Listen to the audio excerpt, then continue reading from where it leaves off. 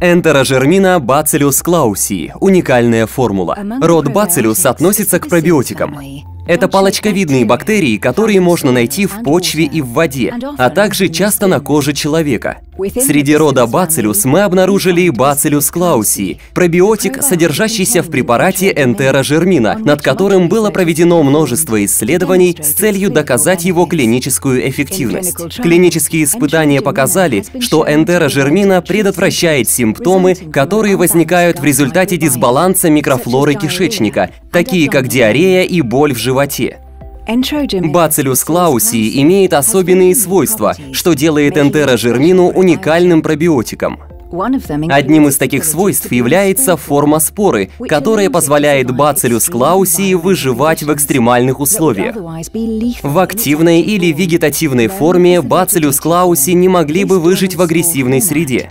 Спящая форма позволяет бациллюс клауси проходить через желудок и, в отличие от многих других пробиотиков, безопасно достигать кишечника. Кислотная среда активирует споры, и они прорастают в кишечнике уже в активной форме, благодаря чему проявляется благоприятный эффект энтерожермины. Энтерожермина также отличается от других пробиотиков своей устойчивостью к широкому спектру антибиотиков. Почему это имеет значение?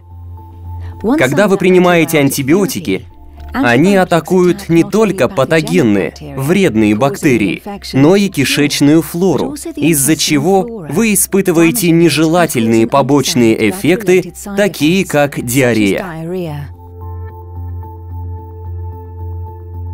Чтобы избежать этого, необходимо использовать пробиотик, который способен предотвращать или устранять эти побочные эффекты. И к тому же он сам должен быть устойчив к антибиотикам.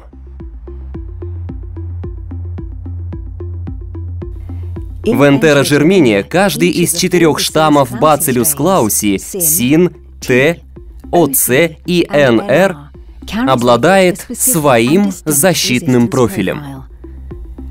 Такое сочетание разных штаммов позволяет принимать энтерожермину вместе с большинством самых распространенных антибиотиков, поскольку оно гарантирует выживание достаточного количества спор в вегетативной форме. Следовательно, принимая энтерожермину вместе с антибиотиками, вы избегаете связанных с ними побочных эффектов, таких как диарея, и, следовательно, вам будет проще соблюдать режим лечения антибиотиками. Такая устойчивость к антибиотикам появилась благодаря спонтанным мутациям в хромосомах, а также селекции штаммов в зависимости от антибиотиков, используемых в исследовании. Эти мутации стабильны и обеспечивают предсказуемую и продолжительную устойчивость к широкому спектру антибиотиков. Также отсутствует риск заразить организм другими бактериями или патогенами, поскольку сопротивляемость Bacillus clausi закодирована в хромосомах, а не в плазмидах.